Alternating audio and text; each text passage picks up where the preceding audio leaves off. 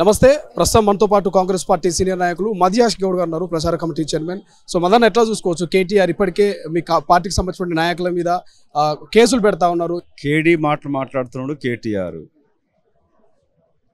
అధికారం పోతుంది పోయినది మతిస్థిమితం కోల్పోయి మాట్లాడుతూ ఉన్నాడు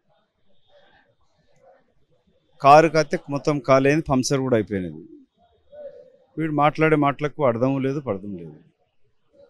ప్రజలు కాంగ్రెస్ పార్టీని ఐదు సంవత్సరాల కొరకు వెనుకున్నారు మా మేనిఫెస్టోలో వంద రోజులు అమలు చేసే గ్యారంటీలు ఆరు. మిగతా ఐదు సంవత్సరాల కాలంలో అమలు చేసే అంశాల గురించి మేనిఫెస్టోలు చేయడం జరిగింది. రేవంత్ రెడ్డి గారి నాయకత్వాన ప్రభుత్వం ఏర్పడి నాలుగు నెలలే కావస్తా ఉంది. వాడికి ఎందుకు అంత ఆతృత? గతంలో లెక్క తీస్తే వాళ్ళు ఇచ్చిన హామీలు ఏమైనా నెరవేరిందా?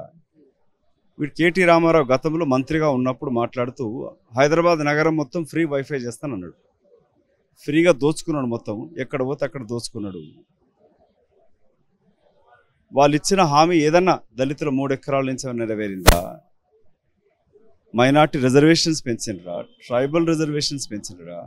ఉద్యోగాలు కల్పించినరా?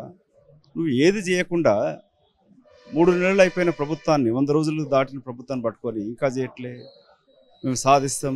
ఎవరి కొరకు పోయి నీ పోరాటం నువ్వు దోచుకుంది కాపాడడానికి కొరకు పోరాటమా? నువ్వు కబ్జా చేసిన భూముల గురించి పోరాటమా?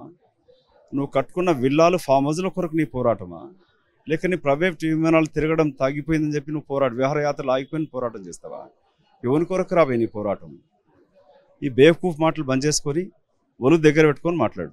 తప్పుడు ప్రచారాలు చేస్తున్నటువంటి కొన్ని ఛానల్స్ మీద కొంతమంది మీ పార్టీ నాయకుల మీద కూడా పరువు నష్టం దావా వేయడానికి సిద్ధంగా ఉన్నాడు ఆయన. సో ఎట్లా చూడొచ్చు దీన్ని మీరు సమర్థిస్తున్నారు పరువు లేనోడు పరువు నష్టం దావా వేస్తే ఏమవుతుంది ఏమవుతుంది పరువునోడు పరువు నష్టం దావా వేయాలి. పరువు కోల్పోయినాడు పరపతి కోల్పోయినాడు కనీస సంస్కారం కూడా లేనోడు. ఇక అతను పరువు నష్టం దావా వేస్తే అయ్యేదే ఉన్నది? దొంగలు దోపిడీదారులు కూడా పరువు నష్టం దావాలిస్తే ఏందట? కేసీఆర్ మాజీ ముఖ్యమంత్రి కేసీఆర్ ఉన్నట్టు దాదాపు ఈ మూడు నెలల్లో రెండు వందల మంది రైతులు చనిపోయారు అంటున్నారు వాస్తవం ఇది? నిజంగా రెండు వందల రెండు వందల మంది రైతులు చనిపోయారా మూడు నెలలు కేసీఆర్ ఎప్పుడు మాట్లాడింది మాట? పొద్దున్న సాయంత్రమా? ఎప్పుడు మాట్లాడి ఏ టైంలో మాట్లాడాడు? కేసీఆర్ కేసీఆర్ ఈ మాట అన్నది ఉదయం ఆరు గంటలకు మాట్లాడిండా? మధ్యాహ్నం మాట్లాడిండా? లేక మూడు గంటలకు మాట్లాడిండా?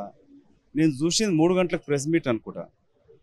ఆయన ముఖ్యమంత్రిగా ఉన్నప్పుడు ఎండి గ్లాసులో సారా పోసుకొని తాగుతుండే క్యాబినెట్ మీటింగ్లలో కేసీఆర్ లేస్తే మందు కొడతాడు పండుకుంటే మందు కొడతాడు ఆ నిద్రపోతున్నప్పుడే పండుకోయే ముందు మందు కొడతాడు నిద్రపోతున్నప్పుడే మందు కొడతాడు.